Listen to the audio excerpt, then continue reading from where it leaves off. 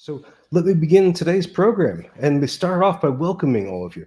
Welcome to the Future Trends Forum. I'm delighted to see you here today. We have a fantastic guest talking about a really, really great topic. And I'm really looking forward to our conversation. Now, I'd like to introduce two things right now. Uh, first, I want to remind you that this is a session in our special series, the Paradigm Conversations. And we're doing this in partnership with the Excellent Paradigm Project. You can see some of the folks uh, already with us from that, like uh, the awesome Todd. Um, and the Paradigm Project is a, is a whole way to reconceptualize, rethink, reform, revise higher education along lines of equity and improvement for the student experience and a lot more. Now, the Paradigm Conversations is a partnership between that excellent group and the Future Trends Forum, where we're trying to have some of the paradigm conversations here. And we had one a few weeks ago with a few excellent guests. And now today we have a still another guest. And she's coming to us with a particular angle. Uh, Mary Dana Hinton is a university president right now. And she has written a wonderful book from Johns Hopkins University Press. And you can find a copy of that book. If you look at the bottom left of the screen, you'll see a tan colored box that's leading from the margins. Click that, and it'll take you to the publisher's page. And what she's written about and what she's lived is the experience of trying to influence, shape, and lead an academic institution when you come from marginalized positions. When you're not like me, a white cisgender male, but in fact coming from multiple avenues of marginalization. It's a powerful book. Uh, she's a superb writer and just a wonderful person to talk to. So without any further ado, let me bring President Hinton up on stage.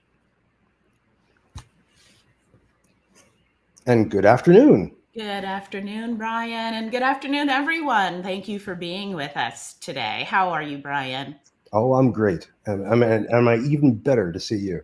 It's good to see you, my friend. And I see so many colleagues out in the audience, several of whom you've named, like Phil and Todd, and of course, Greg, uh, someone from Hollins whose name I see is Susan Shortridge. It's good to see you, Susan. But I would be remiss if I didn't say hello to Sigrid Johnson, who is in our audience. And Sigrid and I go back a decade now to my time at the College of St. Benedict. And it was great to see uh, you. It is great to see you, Sigrid. Oh, excellent. Excellent. Well, here, first of all, let me just quickly uh, even up the screen a bit so people can Thank see. you. and uh, yes, where are you coming from? Is this your presidential office right now? This is my presidential office at Hollins University. I'm actually only 45 minutes down the road from the University of Lynchburg. It is a chilly but beautiful day here in Southwest Virginia. And I'm just so honored that so many people would make time to be together this afternoon. So thank you, everyone. Thank you for your time, which is the greatest gift you can give us. It really can be. Um, well, I, I, have so many questions, uh, and I want to commend you for the for the excellent book, which I find very moving and also really, really practical. Um, and I, I, I guess, well, one question I want to ask, and this is a question that we ask every guest in the program okay. is what are you going to be working on for the next year? into, into, March 2025. Mm. What are what are the topics that are going to be top of mind for you, and, and what are the projects that you're going to be working on the most? Yeah. So I have three answers to that question. I have um, a couple of professional answers and then one personal answer. So the professional answers are the Hollins University strategic plan. I mean, that oh. I'm a president. My job is stewarding the mission and vision of the institution and moving the institution forward. So we have a strategic plan um, called Transforming Learning, Transforming Lives, the Levavi Oculo Strategic Plan. So I'm certainly working on that with an incredible team of colleagues and uh, leaders here on campus adjacent to that. So this is still my first thing as a huge comprehensive campaign. So I am out fundraising for the campaign to support the strategic plan. And that's just yeah. I have turned this into a verb now. That's just presidenting on a Thursday. And so I will be doing that. Um, the second thing that's sort of walking the line between professional and personal is I'm working on the next book. And so um, I had the great fortune of doing the Phi Beta Kappa lectures at Mercer University a couple of weeks ago. And the one of the lectures is called From the Margins to the Heart Um, and so I'm working on writing a book about leading from the heart, which is tentatively mm. titled Where Love Leads. Mm. Um, and because I do think, and perhaps we'll get into this today, I think that one of the great gifts of the margins is a willingness to share your heart with others and a real openness to receive the hearts of others. And I think that has incredible implications for leadership. So the second personal professional thing is is working on this next book. And then the third thing is personal, and I just decided on this at approximately 2:09 p.m. Um, but I want to enjoy life over the next year. And I don't know that we often give ourselves permission or prioritize our own joy in the ways that we might tell students to, in the ways that we might tell one another to. I don't know that we take that in for ourselves. Um, I sent a message out to our community today. We have 23 and a half more class days before the semester ends. And I've asked them to share back with me 23 and a half thing, joyful things that we should do in community. So those mm-hmm. things are coming in. And I want to extend that not to just 23 and a half days, but what does it mean to lead a life of service, a life of purpose, a life of love, but also a life of joy, which is so countercultural right now. And mm-hmm. I think it will be hard, but that's the third thing I'll be working on. Wow. Wow. Um, you, you, you're, you're sending my mind spinning in all kinds of different directions. I uh, love watching your mind work, Bryan. It is a, it is a delight. I love it. well, um, I, I would I, I really think I I and many people here could use that new book of yours um, uh, very much. Um, and uh, I, I, admire you asking uh, uh Hollins about uh, joy, which is a great thing to do. Um, well, let, let, me let me ask you a couple of questions about about leading from the margins, just to get things going. Yeah. And friends, if you're new to the forum, uh, I'm just going to ask a couple of basic questions just to kick things off. But the forum is about you. It's about your questions and your thoughts. So as uh, President uh, Hinton speaks, as she responds to my fumbling questions, please think of what you are interested in, what you'd like to react to, and again, think about the bottom of the screen, the chat box, but especially the raised hand and the question mark so you can put your questions to us. Um, the first question I have is thinking so much of this book is autobiographical. It's talking about your your experience and um, and the lessons that you've learned in being able to be successful coming from at least three backgrounds of marginalizations, being a woman, being mm-hmm. black, and coming up from being rural poor mm-hmm. uh, which is which is exceptional given how much of American academia is led by people who are, of course, uh, white, uh, wealthy, uh, and and uh, male. Mm-hmm. And and I'm, what are some of the main lessons you take away uh, from all from this experience and this reflection on how to make this work, how mm-hmm. to be able to become a major leader in academia. Mm-hmm. Again, you don't look like me minus the beard. Yeah. well, that's a that's a great question, and I actually have to just take one moment, Bryan, if it's okay, and thank Please. Greg Britton for believing in this story enough Absolutely. to put it out into the universe. Um, and Greg believed in this story before COVID, when I was supposed to get him a manuscript, and. Whoa. After oh. COVID or during COVID, when I switched presidencies, and he has been oh, steadfast wow. in his support. So I just want to acknowledge that, and and I have to start with that one because it's it, he's he certainly deserves that gratitude.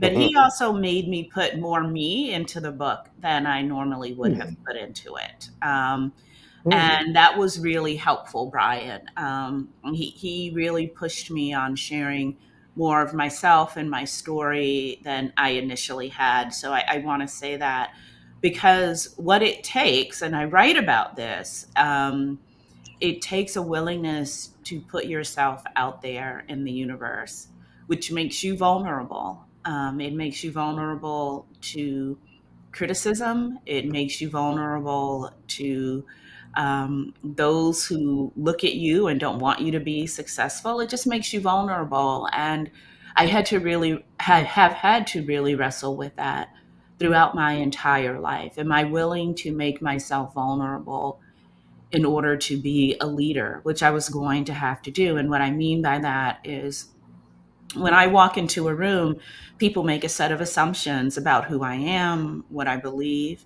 Um, at, a, at a negative extreme, but a real one, people make assumptions about my competence, about my intelligence.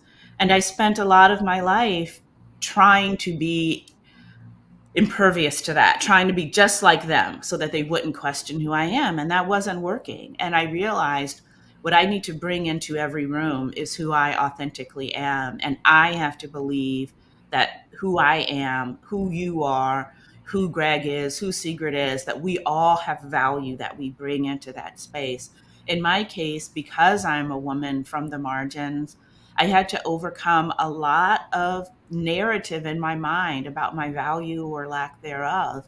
And I hope that by sharing that in the book, it encourages other people to own and embrace their value. Bryan, that's not to say that it's not um, that it's not difficult. That's not to say that I don't have moments of doubt or question. I think that's being human.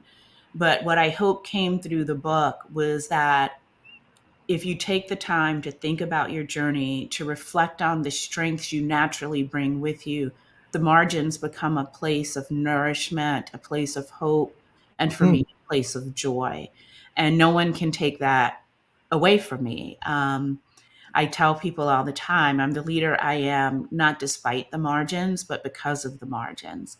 And so, my any success, you use the word success, any success I have, it's because I'm a Black woman who grew up in the rural South in poverty. I own that, I'm proud of that, and I embrace it. And I believe there are strengths that come from that um, that support leadership. Mm, what a beautiful answer. Oh, thank you. You're in very the, kind, Bryan. Uh, well, in, in the chat, by the way, there's a, a greeting uh, from one M. Palencia who says, Fun fact, I'm an alum from the College of St. Ben's. Oh, hi. Oh, M. I know I have to look. Oh, there you are. Oh, hello. How are you? Sorry. It's good to no, see you. No need to apologize. M is one of mine. but you're talking about joy. Um, and, and also the forum is about connection. So we, we, we love being able to make that. If, if I could, if I could press you on that last point, uh, when we when we think of marginalized populations in the United States, we think about populations that are disadvantaged along multi, in many many ways. Uh, you mentioned, for example, being judged negatively by your appearance when you enter a room. Uh, we could think about how Black Americans tend to have much less wealth than uh, white or Asian Americans. Uh, we could think as well about uh, women being underrepresented in leadership positions in, mm-hmm. in academy. Um, and of course, poverty by definition, uh, especially rural poverty, means you know just having fewer resources and being secluded away from networks. How do you how do you draw on those marginalities? What is the, the hidden strength of those positions that powers you um, into what you do? Yeah part of it, Bryan, to be honest with you, is sheer and utter defiance. Um, and I, I often say people find it hard to imagine me defiant. And I took off my gold sequin jacket I had Whoa. on earlier today because I thought no Whoa. one would take me seriously with that on. Wow. But part of it is defiance. And I say defiance because I was tired of people telling me that because I was a Black woman from the South, that I was not a leader and I was not going to be successful. I just, I reached a point where I just couldn't hear it anymore. I was tired of hearing people tell students who look like me that they had somehow engineered their failure when really it's our institutions that are failing our students.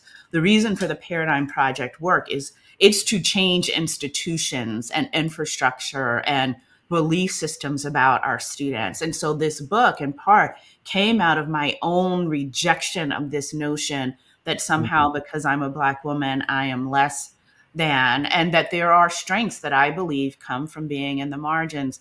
Um, for example, I said to a group the other day that when you are poor and you have a young family, learning how to pl- to feed them and to house them and to clothe them is a master class in strategic planning. I'm really good at mm-hmm. strategic mm-hmm. planning, and part of that is because I, for me, strategic planning was life or death at some points. And so I learned how to do that. And that is a skill set that I bring to me. I was taught, like so many um, young Black kids are taught, and this may be true in other communities of color as well, but that your education comes first because no one can take away your education. I was just at a talk with our Roanoke City Public Schools, and her mother told her the same thing. So when I hear this talk about, well, you know, education doesn't have value, and kids today are questioning the value of an education, I'm willing to bet those aren't kids from the margins like me, right? Like hmm. families know that college matters. They know that that's the way you're going to pull yourself out of poverty. They know that that's the way that you're going to make a difference in the world. So I heard that my whole life. Um, being from the margins is where I first heard about service, that uh, you have to give something back in the world. It's not just about you, it's something bigger than you. The Benedictines um, talk about the value of community and dignity in all work. And that's a lesson that resonated so much with me because growing up, I was told no matter what you do, you have to do it in service of the community around you. You have to work for the common good. You have to make sure that there's dignity in whatever you do. So, this accumulation of lessons from various corners of my life really came together, if you will, in this leadership theory that we bring something to the table we bring something powerful and unique and inspiring and meaningful to the table. Hmm. And mm. It's okay to make oneself vulnerable and say, I have something that I bring. And yes, there are slings and arrows. But even more than that, I look at students who call my name across the campus and run up to me for a hug. I had a uh-huh. student come by my office earlier today and who just needed a hug. She just needed to be told it's okay to be upset and I mm-hmm. can do that because I'm not held to the standard of a leader's hands off, a leader doesn't, you know, doesn't connect right. with students. I get to define leadership for myself. And I would hope other emerging leaders, particularly emerging leaders from the margins, can find um, can find some strength and comfort and encouragement in that. Oh, that's that's fantastic. I mean, first of all, it says so much about you as a president um, that students know you oh, and they can they can come out to you. I mean, that's, that's a, that automatically um, uh, makes you an unusual president and a fun one. uh, uh, this is this is this is very powerful. Again, uh, my my wheels are spinning. Let me ask one more question. Okay. Um, how how can all of academia, um, people of of all backgrounds, how can we best support and uplift uh, people in academia who are marginalized again along multiple multiple dimensions um, yeah. what, what can we do better to make sure that we all benefit yeah you know a couple of things immediately come to mind which is one you have to know the people around you and be in relationship with them I mm. no longer think I can look at someone and tell whether or not they come from the margins or whether or not they want to be an ally to someone from the margins. You know, in order for me to to think about that, I have to get to know them, and I think that's part of what we've lost in higher education. You said that not a lot of presidents know their students. I feel like that's the one thing we should be able to do, and and I know at big institutions, it's it's probably uh, impossible. But man, if I don't know my students, at least in broad strokes, I have the fortune of knowing them by name, but if I don't know my students, what am I doing? Why am I here?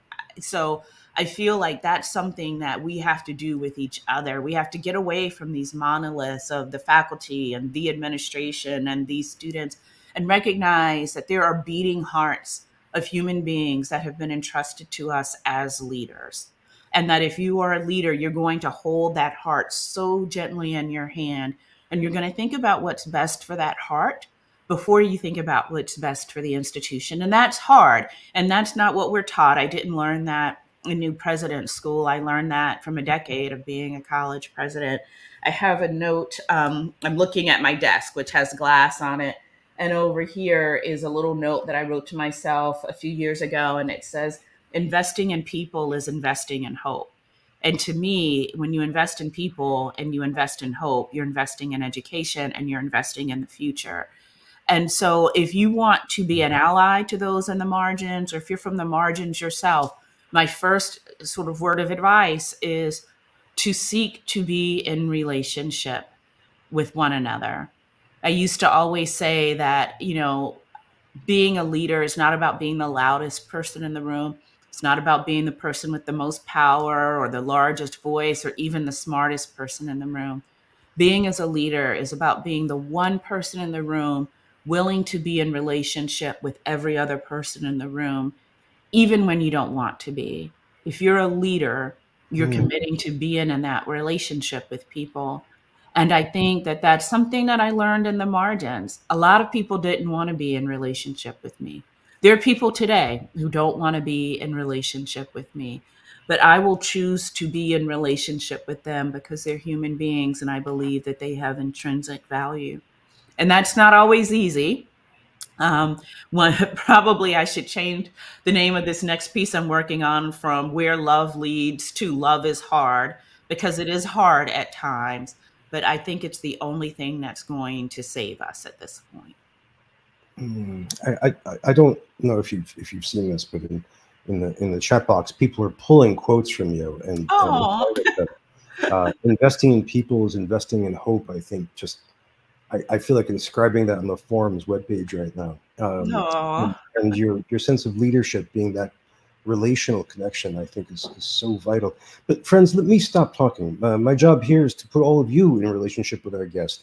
What would you like to ask Professor, uh, sorry, President uh, Hinton, to give her a precise title?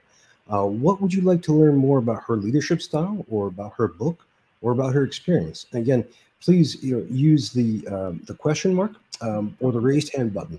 You can join us on the stage. It's clear that you don't have to have a beard to be on the stage. You do have to have a lot of hair, though. That's important. Um, and uh, or we're ecumenical. The the those without hair are welcome, and we we need you to balance this out a little bit. Quite right. Quite right. Quite right. We, we need an absolutely bald person next, just to just to get something down. Um, and uh, again, click the question mark uh, if you want to type in uh, your your Q and A. Um, we have, um, and while people are doing that, while people are thinking, um, you know, you can see smoke coming out of your ears. Um, the, let me um, ask a, a, another question um, from a different angle. Uh, it seems like we live in two different worlds when it comes to technology and education. Mm-hmm. Uh, on the one hand, or in the one world, we have people who see technology as connecting. Uh, that's why we call it social media. That's why we have tools like this um, that we use it to learn more about people and to expand our knowledge and expand our experience.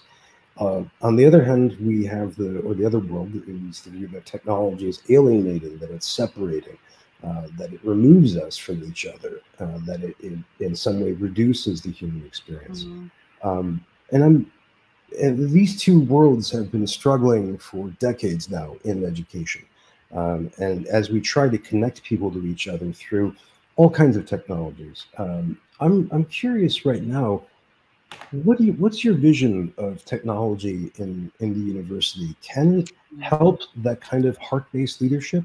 Uh, or does it separate us? Do we, how, how can we use technology to fulfill that kind of dream that you just described?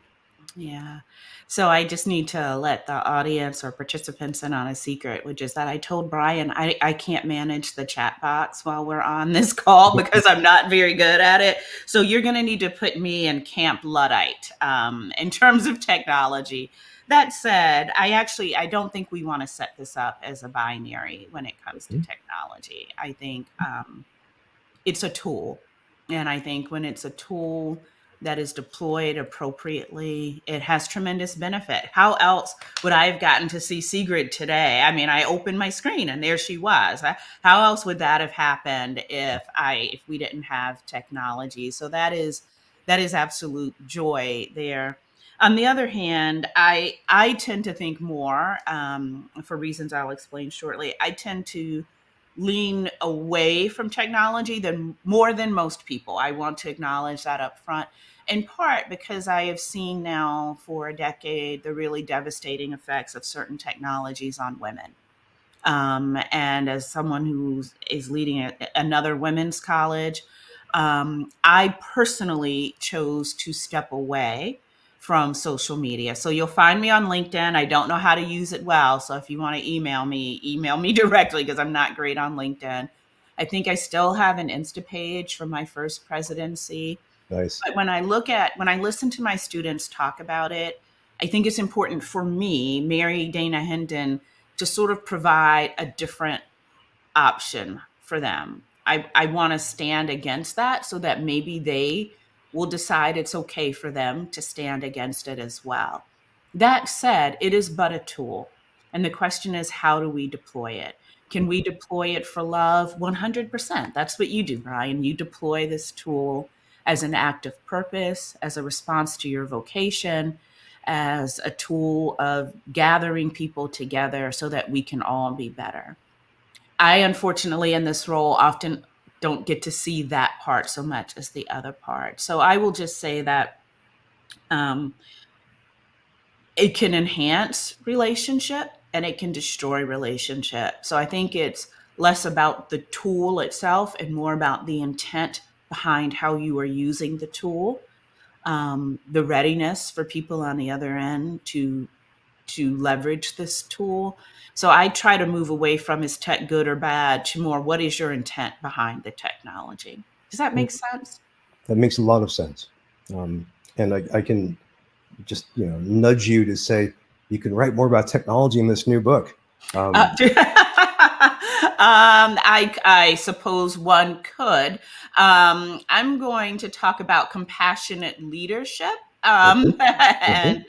a little bit on servant leadership um, and why I think that leaders don't have to be lonely. You know, I was taught that leadership is lonely, that yeah. you that once you're at the top, it's a solo gig. And mm-hmm. one of the areas I'm really excited about is um, well, I don't believe that's the truth. I think that's a center notion.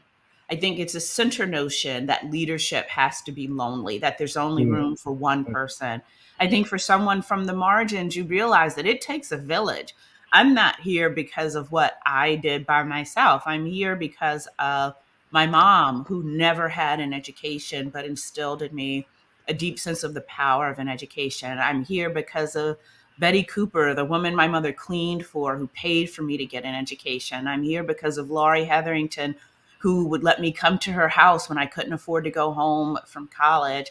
I'm here because of Kevin Mackin, who thought I could be a leader and invested in me. So there's a whole list of people who told me that I could be here.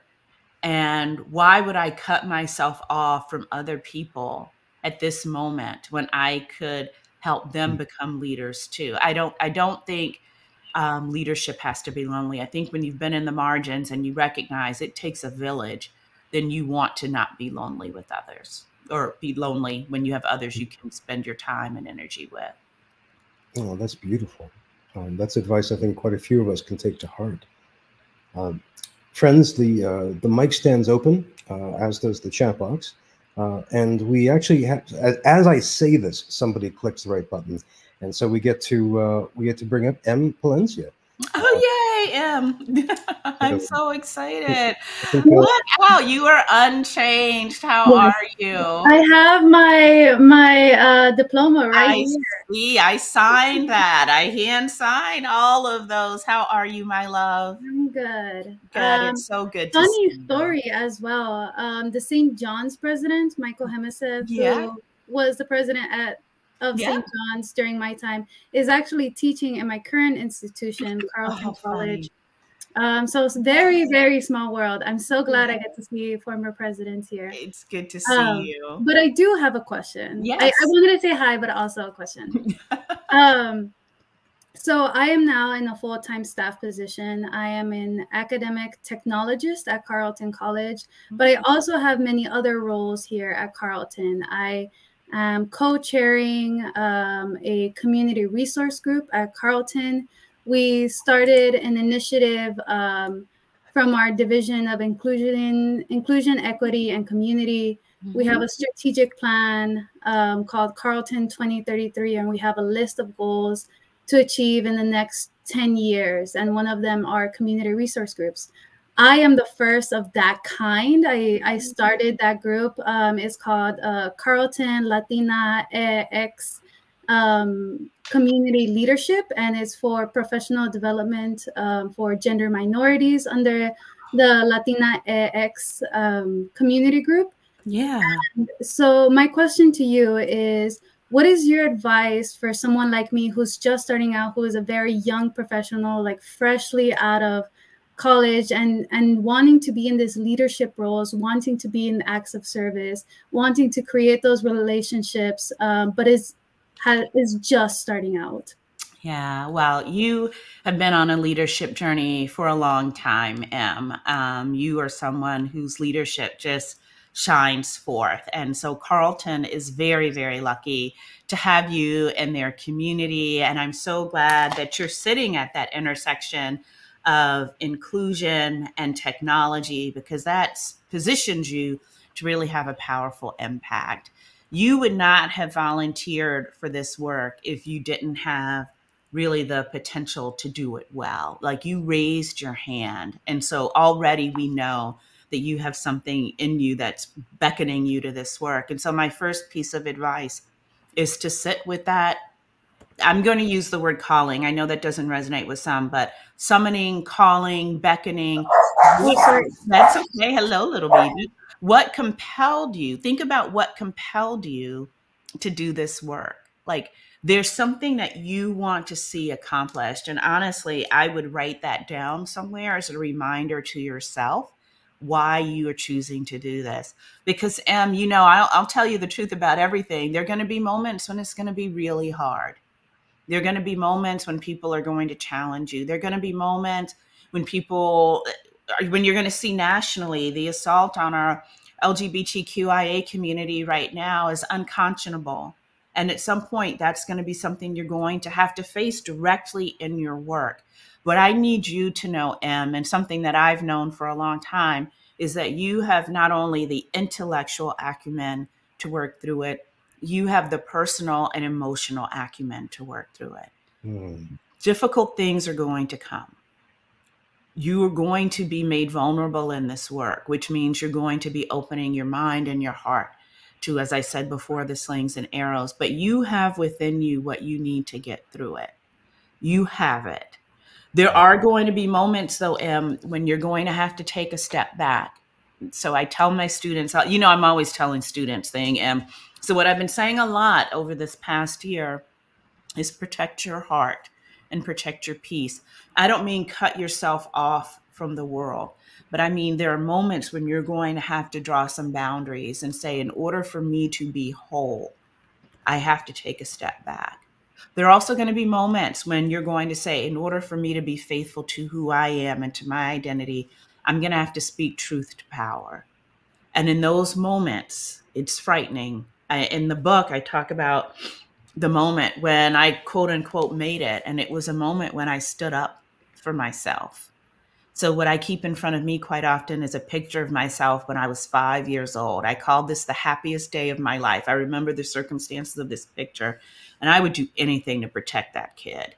So, remember that you're protecting that five year old through the work that you're doing. You're protecting um, that five year old when you set boundaries. You're protecting that five year old when you speak out against injustice. So, just remember that and know that you have it in you and know that you have a president who you can reach out to anytime. So I'm going to put my, the one thing I think I can do is type my email address in the, uh, in the chat box and you reach out to you reach out to your president when you need something, okay? Absolutely. Thank you so much. I'm so proud of you. Um, Sic Lux Vestra.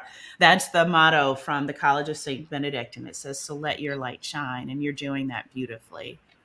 Yes. I'm excited. My five year reunion is coming up this summer. Yes, indeed it is. Congratulations, them. And, so uh, you. Th- thank you for the great question. And and Em, please please say hi to Professor Nathan Grawe if you can. Oh, yeah. Absolutely, yes. A, a, great writer. Uh, he is and a, a, really, really great friend. He was, he was a great guest on the forum, too. So yeah. please, please say hi. Indeed. Yes, I um, will take that. If you're new to the forum, that's an example of a video question. So all you do is click the raised hand button. Um, now I want to share a text question from the Q&A oh. box. And before I do that, I just want to say, Mary, thank you for that moving, moving answer. Oh. How, how supportive. I uh, here's the, the text question from our friend in the far north, uh, John Hollenbeck, who's coming to us from Snow, it looks like, in Madison.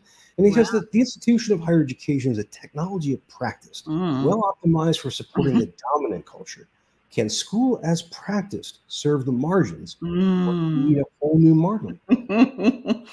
I tell you what, John Hollenbeck is start trying to cause trouble. I mean, I you know, yeah. and, um, you know, John, I think we let me take a step back. Um, when I was at the College of St. Benedict, and I think M would have been a student um, at the time, we had a protest in January of 2017. And you can imagine the circumstances of January 2017. A protest was not unusual at that time. And I went to the protest. I was pretty upset too. And I didn't know presidents aren't supposed to be at the protest if they're being protested. But I went because I was I was upset and I wanted to be with my students in this moment of grief and pain. And I've written about the fact that, it, John, as I stood at that protest, I had sort of a, a emotional collision because the very things that our students were protesting were the same things that 30 years earlier I had stood on a campus and protested more faculty of color, more support for students of color. Um, the list goes on. And as I stood there, looking back 30 years and recognizing how little had changed, it was, for, in some ways, a seminal moment for me because I realized a couple of things. I realized that when people say, oh, it's an issue of money, we don't have enough money, that's not true. In 30 years, we could have gotten enough money to change these systems. When people say, oh, we don't have a pipeline, mm, that's not true. It's been 30 years. Someone could have been born, gone to school, and been in the pipeline to help us move forward. What we've had for 30 years pretty consistently is a lack of will to change the structures that poorly serve those of us in the margins. And so I find myself um, really really frustrated at times with where we are today because it's not a lack of resources it's a lack of will. I think oftentimes we think we can program our ways out of inequity. There's not a there's not a speaker to bring to campus there's not a book to be read there's not a professional development series to be launched that's going to change higher education unless and until we're willing to look at infrastructure and think about how our model inherently works against people from the margins. For example, um, our model is one based on exclusion. When you think about um, the highest ranked colleges, part of that ranking is how many kids did you choose not to serve? Mm-hmm. I would turn that on its head that maybe we should be valued by how many kids we choose to serve and that we serve with distinction. That would be a very different way of measuring. We're not ready to do that in higher education, or we think about how few students can, or how selective can we be, um, and how can we use our resources to support some students, but not all students. That's another way of exclusion. So I do think, John, that there are elements of the model we have to significantly disrupt. I had the privilege last week of being on a panel with um, someone from Bunker Hill Community College. Um, who Leah was talking about work that she did there, where they were looking at their probation system and they were academic probation, and they were wondering why Black and Latino males were overrepresented and the students who were ultimately dismissed even though they weren't initially overrepresented in the numbers of students on academic probation. And I think I'm telling the story properly. If I get details wrong, please forgive me.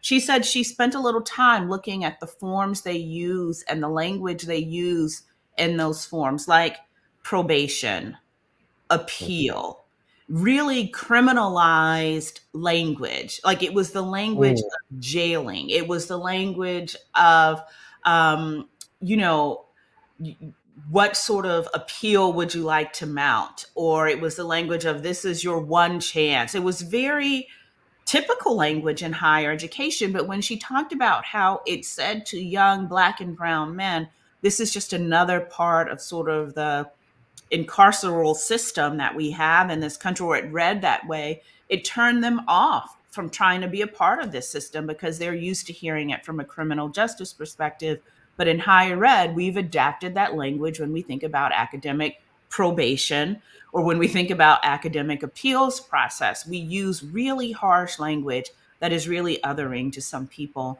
When they change the language, those numbers really re realigned um, to more sort of proportional uh, numbers.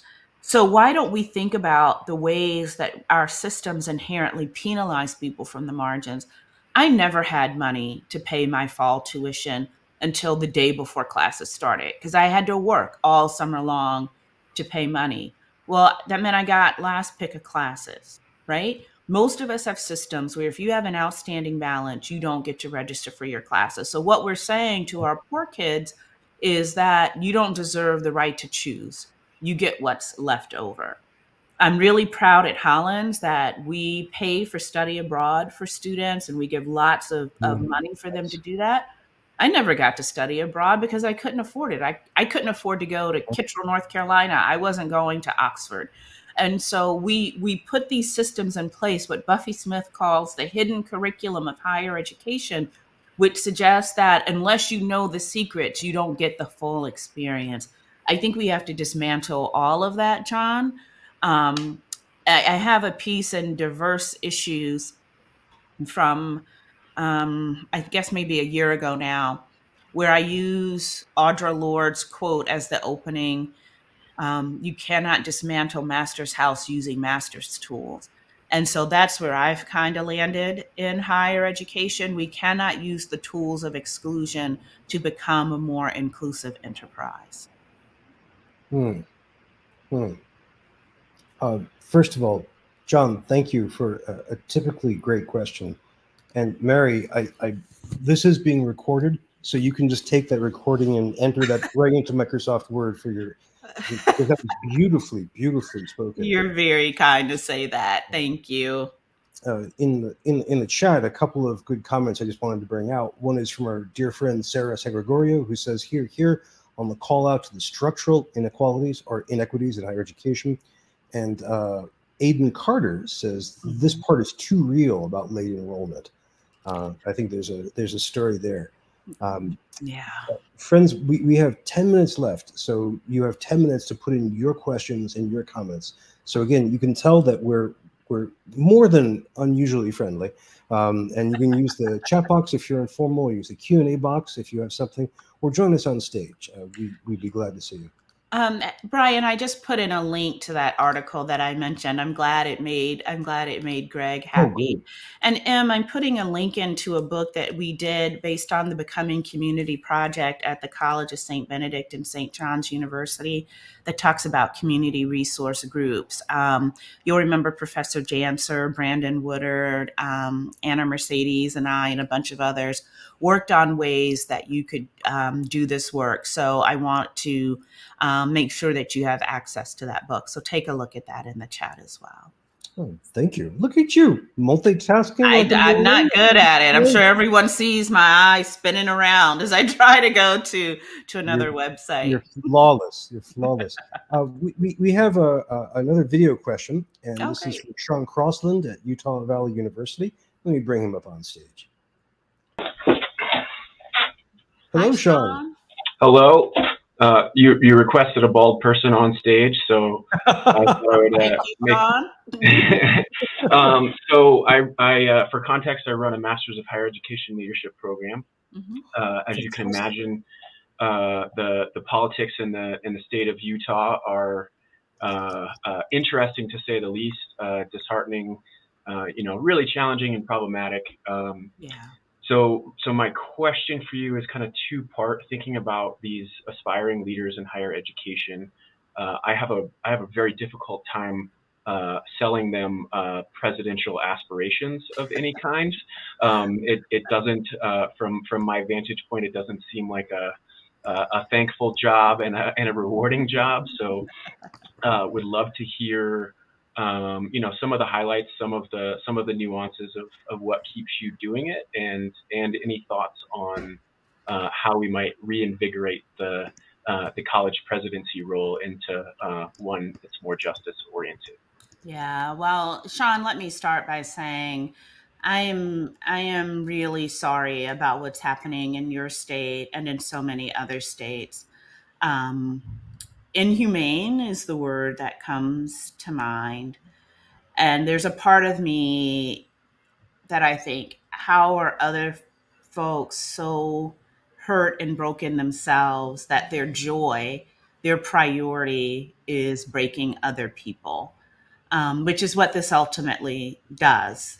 We are erasing other people and their histories. And so I just want to start by saying I see that. I do not presume that I am safe from it um, where I am or that any of us are safe from it at this moment in time. So, um, how do you encourage someone to be a college president? Well, the average college presidency is now 5.9 years um, just so we're aware so it's it's a short gig if, if they don't like it but i actually think that that that that worries me more than anything else. We cannot change and improve our institutions and make them more sustainable if we don't have sustained leadership in these institutions. And sustained leadership demands that you are clear about what your purpose is. If your goal is the perks of this job, if it's the title or the salary, if that's your goal, I would say please don't be a president because it, it that's not going to serve your students well. To be a successful president means that you have to see, honor, and value the humanity of each person that you encounter. And I think that is so important. And I think that's why I'm starting to talk more and more about the work of the heart. Um, and academia doesn't like that because when I talk about the work of the heart, I'm talking about work that is less academic, less, uh, I mean, more, ac- I'm sorry, less academic, more emotional, more institutional.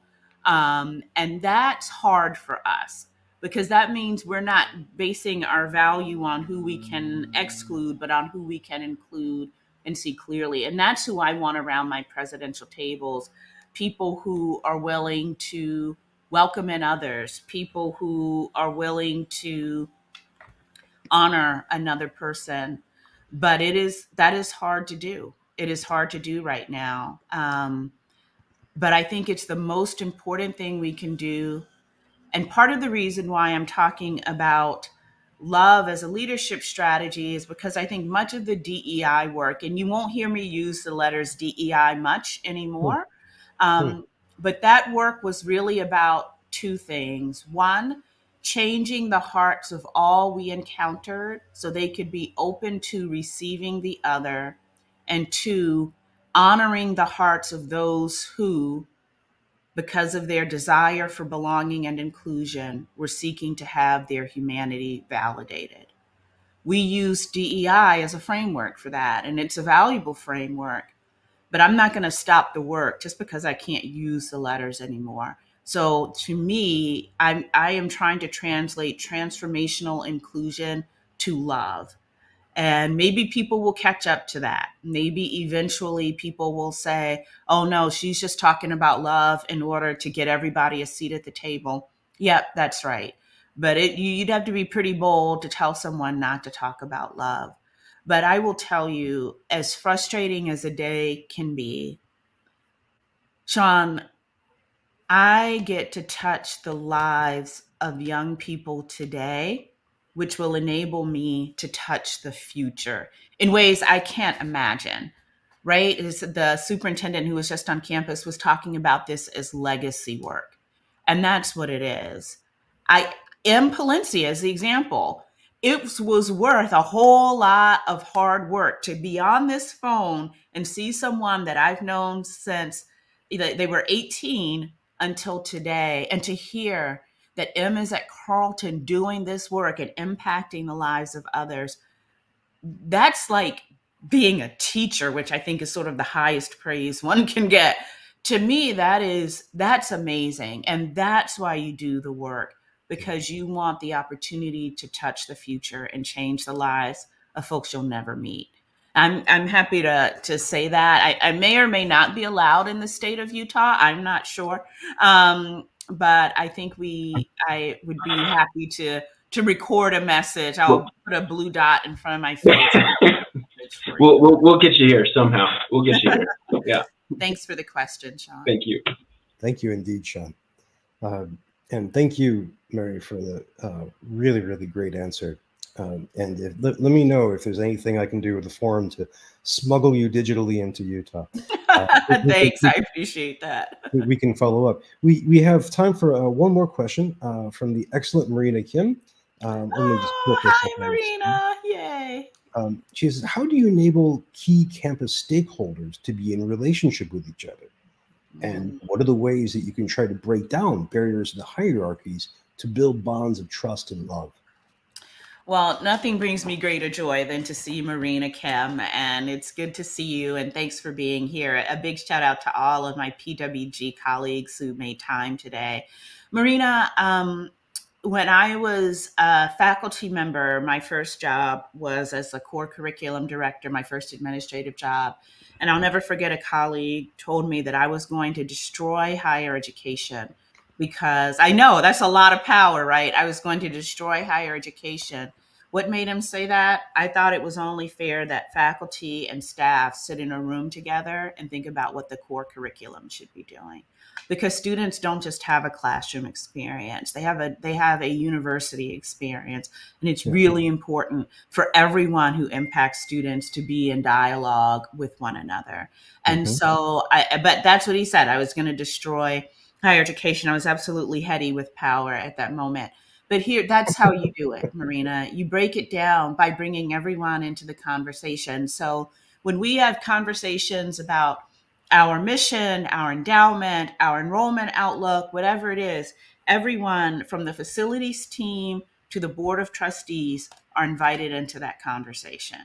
Uh, there's nothing to hide. You want to see what the budget is? Come on in. I'm happy to share it with you you want to see, um, and Susan can attest to this, you want to have a conversation about the mission, you want to hear about athletics, everyone is invited into that conversation because we all have responsibility to the institution. We are all responsible for some of the outcomes that the institution achieves, but most of all, we all love our students. So why not have a word together with one another? Why not believe in a shared common good why not believe in a vibrant future? So, to me, the way that you make that happen is you invite everyone into the conversation and you model what it is to be a lifelong learner. So, I love it. I love it when we get to learn together. Susan was in the session with the superintendent a few minutes ago. And wow. when Susan helped co lead a session on developing a staff academy, everyone was invited to that.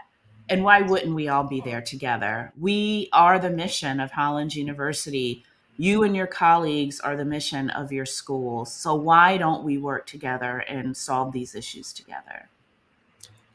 Well, that's another great, great answer. Um, thank you, Marina, for the excellent question. Indeed. Uh, Mary, I, I don't want to rush things, but we have one more video question. Okay. Uh, I'm, I'm starting to feel like this is this is your life, you know, uh, because this is another person that you might know. Uh, oh. And then we bring her up on stage. And uh, Aww, my secret. Hi, how are you? Oh, but I when you popped up on my screen, I screamed out loud. How are you, my friend? Well, I'm fine. Am, am I unmuted? You are. I can hear you just um, fine. Um, I just wanted to say that when you came to St. Ben's, we quickly figured out this is something different here, and rather quickly we saw you loved us. Thank you. And I've been affiliated with St. Ben's for 69 years. Yes, indeed. Since 1955. And only one other time have we been loved. Aww. And that was Dr. Idzerda, Aww. who was there in the Stanley Idzerda, who was president in the late 60s, early 70s, a man at our women's mm-hmm. college. We, the, I was a young faculty member, and I realized he loved us. It was such a different experience. Mm. And now, all these years later, you came and loved us again. And that is very, very powerful. I just was so delighted to hear you Aww. articulate that in front of all these people who are going to be leaders, that loving the people you are leading is the only way to go. That that is what matters, Sigrid, and it was an honor and a privilege to love everyone at the College of St. Benedict, and I still do them. It's an honor and a privilege to love all of my colleagues here at Hollins. When you, I want to just share a quote because I know we're out of time, but this is for you, Sigrid, and this is for you, Bryan. Paulo Freire wrote, Because love is an act of courage, not of fear. Love is a commitment to others. No matter where the oppressed are found, the act of love is commitment to their cause, the cause of liberation. So, for all of us who come from the margins, our love is our liberation. Our love is our commitment to the cause. And so that's the only way I can see to lead at this moment in time. So it, I, I do love you so much, Sigrid. It is so good to see you. Lovely. Thank you. Thank you, Sigrid. Thank you. And uh, I hate to say it, but this we are out of time. Uh, President Mary Dana Hinton, you've been a fantastic guest.